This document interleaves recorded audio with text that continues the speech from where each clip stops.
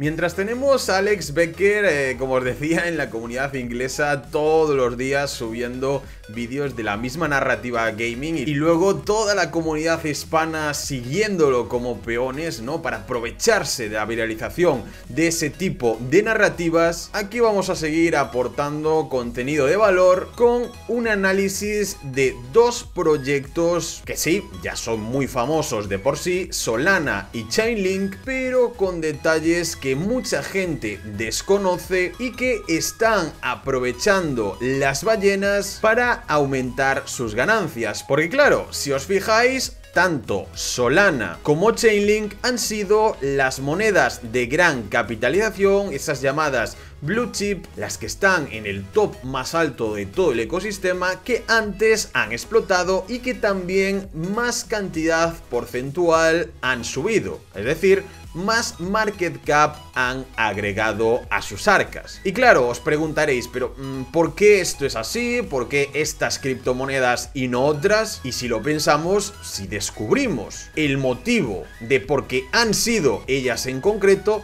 también tendremos una ventaja competitiva a la hora de estudiar otros proyectos y buscar similitudes que puedan apoyar estos mismos datos. ¿Para qué? Para aprovecharlo y posicionarnos antes de que estas monedas también exploten. Como decía, sí, la narrativa del Gaming Web 3 está siendo cada día más popular, no paran de hablar de otra cosa, pero nosotros ya hicimos un vídeo sobre ese nicho, de cómo no había que volverse locos con todos los proyectos, sino buscar oportunidades en concreto y proyectos que tuvieran una ventaja competitiva. Pues bien, vamos a ver qué secretos qué detalles podemos sacar de las dos criptomonedas que más han aumentado su market cap hasta este momento. Empecemos con Solana, que ha tenido un crecimiento estratosférico durante los últimos meses, pasando de valer 9 dólares, sí, Solana ha estado a 9 dólares, hasta los casi 75 que tenemos en el día que estoy grabando este vídeo. Quizás justo cuando lo veáis vosotros aún puede estar más arriba. arriva Parece que no para de subir, tiene una presión alcista tremenda, así que vamos a ver el por qué, qué está pasando en Solana, por qué parece que va a ir directamente a buscar esos máximos y podría seguir subiendo. No sé si recordáis que hace un par de meses subí un vídeo comentando de que había especialistas que ponían a Solana en los 1300 dólares para el año 2030 y que podría llegar incluso más arriba si conseguía posicionarse como proyecto número uno en su nicho. Y durante este vídeo más adelante os estaré comentando también la nueva promoción por el sexto aniversario de CoinEx, un exchange que ya lleva seis añazos en el mundo cripto y que está ofreciendo un regalo de bienvenida de 186 dólares que pueden conseguir durante esta semana todos aquellos que se registren en la plataforma desde el enlace que os dejaremos en la descripción. Como veis nos van dando diferentes boletos, diferentes cupones de dinero que podemos ir consiguiendo realizando esas tareas, ¿vale? Así que un poco más adelante en el vídeo os explicaré el paso a paso de la plataforma. La primera ventaja competitiva de la que podemos hablar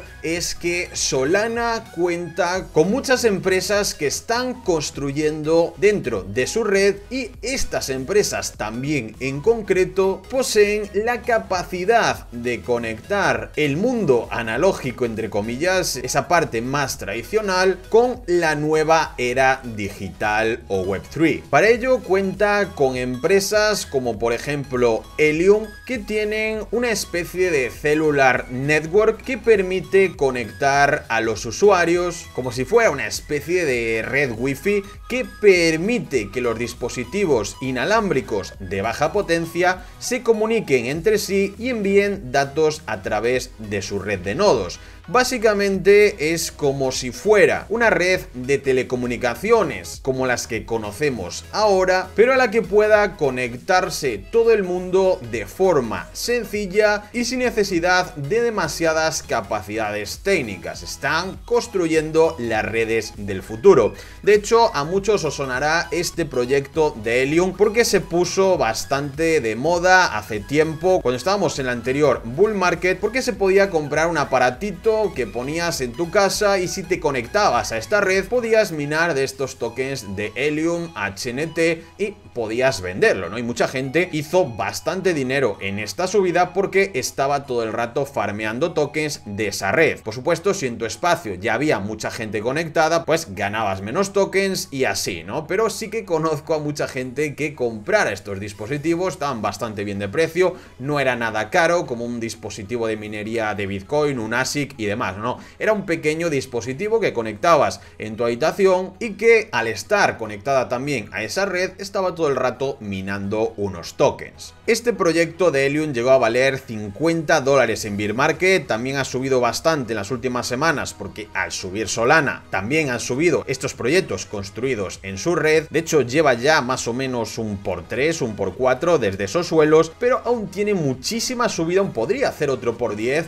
hasta sus máximos. Otra ventaja competitiva podemos verla claramente en el proyecto de Render. Este sí que ha subido ya de forma masiva en el último año. De hecho, no esperó ni a octubre, sino que más o menos a principio de año, enero, febrero, ya marcó un suelo más alto que el anterior. Recordáis que en vídeos anteriores se decía que si veíamos una moneda que formaba un suelo más alto que el anterior antes de que el resto explotaran, eso es porque tenía también un extra, es porque en este segundo suelo se habían ya posicionado diferentes empresas que invertían en el proyecto. Podéis ver, por ejemplo, a Rune, ¿no? Mirad Rune en vuestro gráfico y veréis cómo también antes de explotar directamente en los últimos meses había marcado ya mucho antes un suelo más alto que el anterior. Y antes de continuar, presentaros rápidamente el exchange de Coinex, que puede ser una de las mejores opciones que tenemos ahora mismo todos aquellos que queramos estar dentro de un CEX y que además podamos tanto comprar en spot como hacer trading con total libertad. Sí, es un exchange que está localizado en la zona de Hong Kong y con lo cual no tendremos que darle explicaciones a nadie si operamos, por ejemplo, desde España o Latinoamérica. Es decir, tendremos toda la libertad y privacidad que necesitamos. Yo personalmente lo llevo utilizando más de tres años como mi opción más privada y nunca me ha fallado.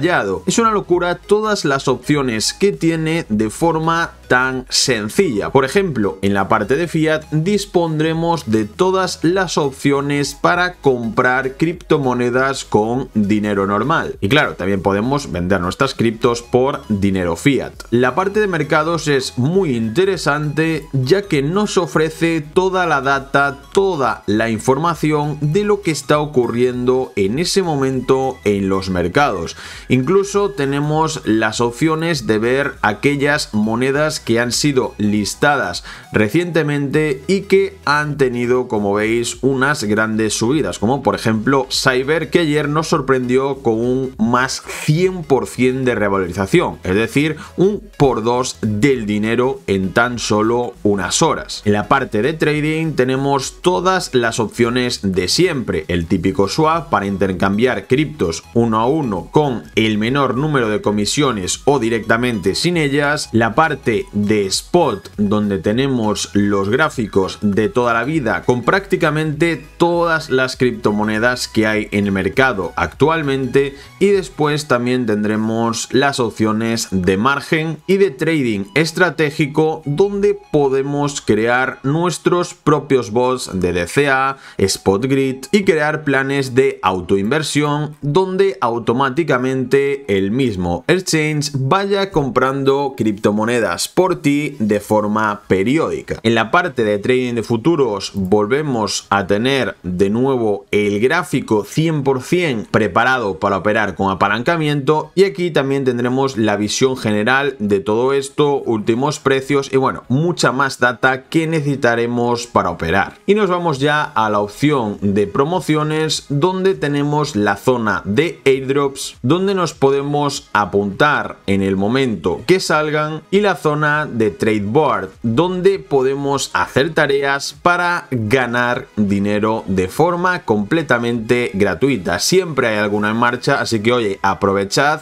echadle un ojo porque merece mucho la pena. Como siempre, os dejaré el enlace en la descripción para que le echéis un ojo. Pues bien, render es como si fuera eh, una forma de renderización en la nube, ¿no? Render Network está diseñada para proporcionar una plataforma para una amplia gama de tareas informáticas, desde ese renderizado básico hasta inteligencia artificial, y todo esto de forma rápida y eficiente en una red peer-to-peer basada en blockchain, libre de errores o demora y garantizando al mismo tiempo la seguridad de los derechos de propiedad del usuario. Claro, si lo pensáis un poco más allá, es una absoluta locura de proyecto. De hecho, por eso ha subido tanto en el último año, no solamente porque esté construyendo también en la red de Solana, sino también por esa narrativa de la inteligencia artificial. Pues bien, ya llevamos dos ventajas competitivas de Solana frente a sus competidores. El renderizado en la nube y la red de telecomunicaciones propia, ¿no? Entre comillas, con muchos beneficios más que una red normal que proporciona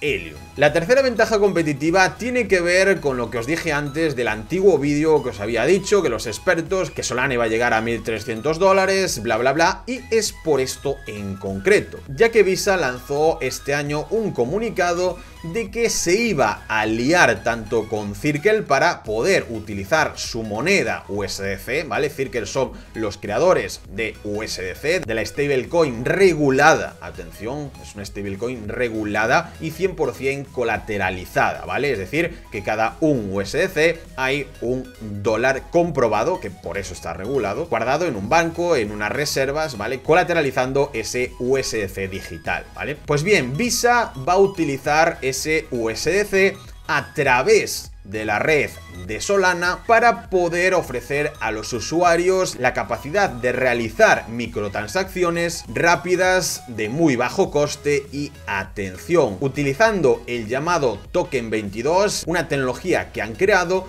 para que muchas de esas transacciones puedan ser privadas, es decir, que el usuario pueda elegir que nadie sepa nada de esas transacciones y no se tenga la posibilidad de rastrearlos. Esto, bueno, aún está en construcción, aún hay que darle varias vueltas, porque ya sabéis que este tema de la privacidad siempre es entre comillas. Pero bueno, es otra ventaja competitiva y, esta, creedme, que es muy importante y que ha proporcionado una inyección de capital y sobre todo muchísimo interés al ecosistema de Solana y muchísimas empresas que con solo esta noticia ya van a inyectar muchísimo dinero y se van a intentar posicionar antes que nadie. Y claro, imaginaros también lo que supone para los usuarios eh, más normales, nosotros en el día a día, poder hacer esas transacciones privadas, rápidas, casi instantáneas, de bajo coste, casi sin ningún tipo de comisión desde nuestro móvil y con USDC. Va a ser una pasada. Y por último, otra ventaja competitiva es, por llamarlo así, su oráculo propio, ¿vale? Que es el proyecto de Pith Network, que seguramente os suene porque han repartido un airdrop multimillonario en las últimas semanas y alcanzado directamente los 700 millones de market cap. No es que sea un competidor directo de Chainlink,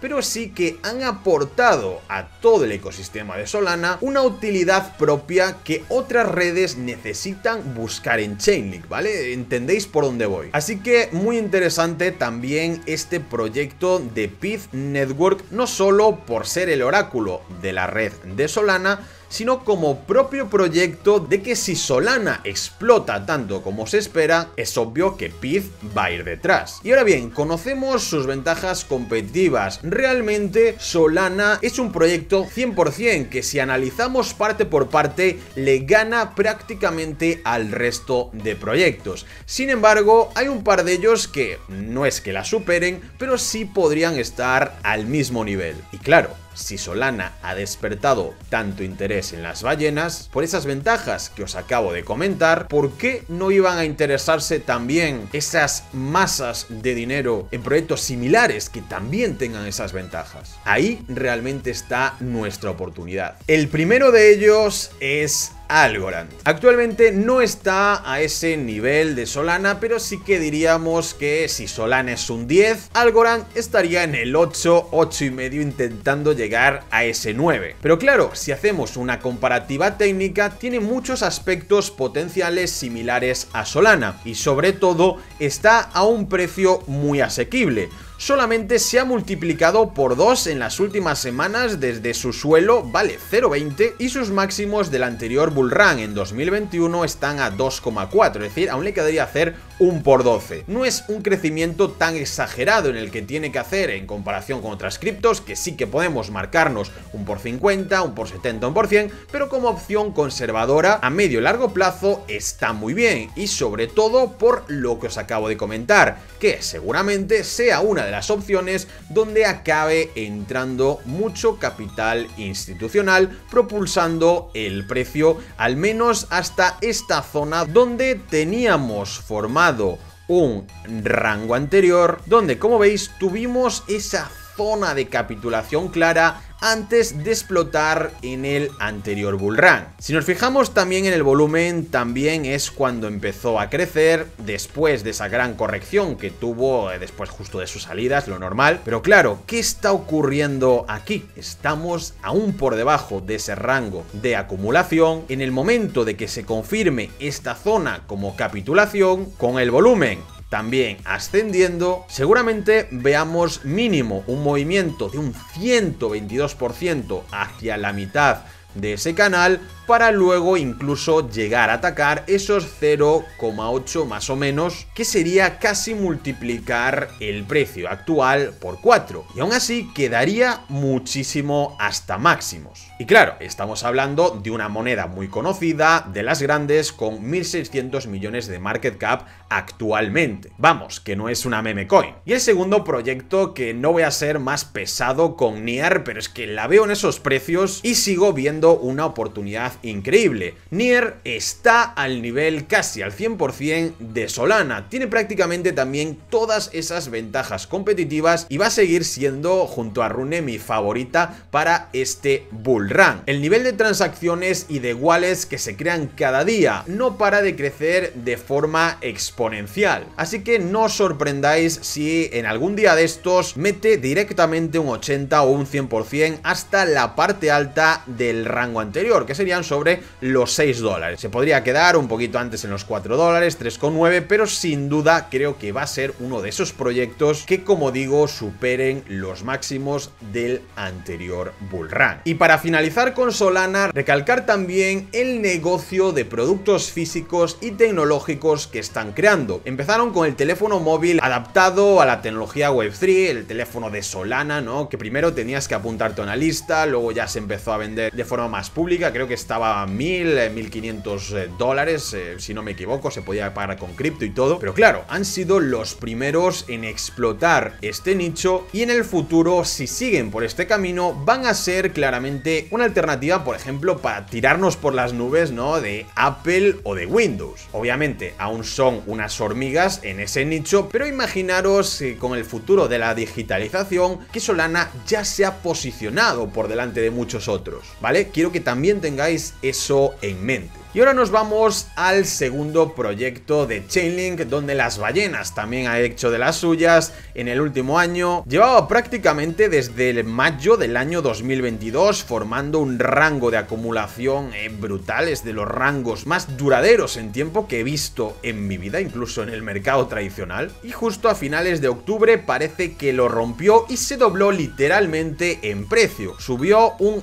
135% de golpe y mucho movimiento de ballenas en su ecosistema. De hecho, aquí abajo en el, en el, en el propio volumen básico de CoinMarketCap podemos ver el aumento, ¿no? Que pasó de estar prácticamente en el suelo, sí, de vez en cuando subía un piquito, también subía algo el precio, pero volvía a bajar. Pero de repente ya vemos una masa de volumen bastante considerable, pero que si la comparamos con todo el volumen que tuvo en la anterior bull run es prácticamente nada. Pero claro, ya estamos en 16 dólares, estamos en esta zona donde el volumen era más alto, así que imaginaros el recorrido que podría tener Chainlink por delante. En la parte de Chainlink, como es eh, un oráculo, sí que no podemos centrarnos en esas ventajas competitivas, pero claro, es que Chainlink puede ser el proyecto más necesario de todo el ecosistema cripto, sí, podría serlo perfectamente, o sea, no podemos eliminar a Chainlink del ecosistema. Es el oráculo principal de la mayoría de redes, como veis, y proyectos. Todo el mundo necesita Chainlink. Y eso es lo que lo hace fuerte y sobre todo lo que lo hace necesario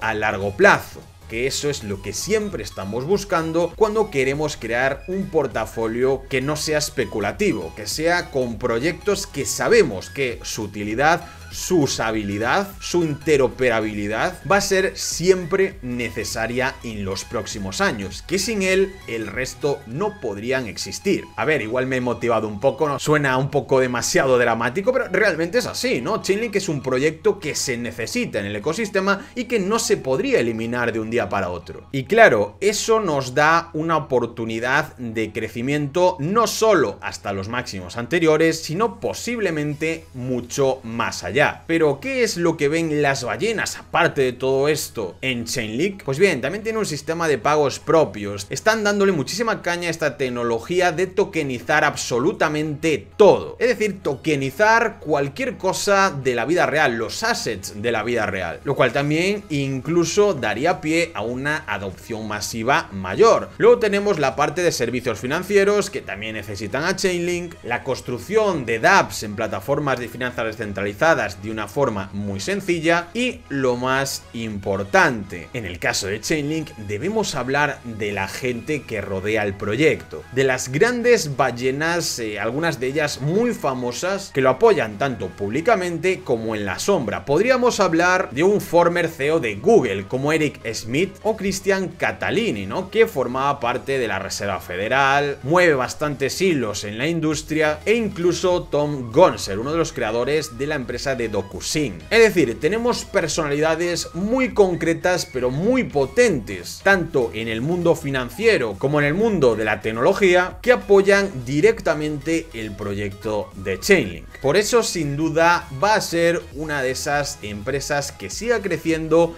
y siga aportando valor en el futuro, con la consiguiente oportunidad de inversión que para nosotros representa. Y ahora bien, ¿qué proyectos podrían subir de la misma forma que Chainlink? ¿Qué proyectos podrían alcanzar ese nivel? Y siempre que hablamos de Chainlink, al final tengo que acabar hablando también de Band Protocol. ¿Por qué? porque de momento Chainlink no tiene ningún tipo de competencia en lo suyo. Band es el que tecnológicamente más avanzado está para llegar a ser esa competencia. Recordáis ese ejemplo que os ponía de McDonald's y Burger King, donde siempre se coloca un McDonald's, luego al cabo de unos meses se coloca también un Burger King, ¿no? Para que al final la gente tenga que elegir. O al revés, obviamente. Así que imaginaros si Band Protocol en algún momento consigue esos apoyos similares a los que tiene Link, porque claro, está completamente en el suelo. Solamente para llegar al nivel de capitalización que tiene Chainlink hoy en día, y ya no hablemos en bull market, tendría que hacer un por 45. Por eso siempre me gusta dejaros ahí el detalle de Band Protocol, porque de verdad que llevo muchos años siguiendo este proyecto, prácticamente desde que salió, y creo que cuando exista una adopción masiva va a ser la competencia directa de Chainlink, pero para conseguirlo tendrá que crecer mucho en market cap, es decir, tendrá que crecer muchísimo el dinero entrante en el proyecto. Para mí va a ser una de las monedas que holde eternamente. Y bien chicos, espero que os haya gustado esta reflexión de por qué las ballenas han elegido eh, estos dos proyectos, estas ventajas competitivas, por qué Solana y Chainlink han subido más que otras monedas. Aquí tenéis la respuesta. La moraleja es que a partir de lo que os he enseñado en este vídeo, vosotros hagáis vuestros propios estudios intentando buscar algunos proyectos que coincidan con estas ventajas y así poder aprovechar esas posibles subidas en este bull market. Como siempre, espero que os haya encantado el vídeo. Si ha sido así, reventad el botón de likes, que ya sabéis que nos ayuda mucho, y ponednos en comentarios si me he dejado algo, si me he olvidado de algún dato, porque siempre viene bien que si es así, lo comentemos en los próximos vídeos. De nuevo, muchas gracias y nos vemos en el próximo vídeo. Adiós.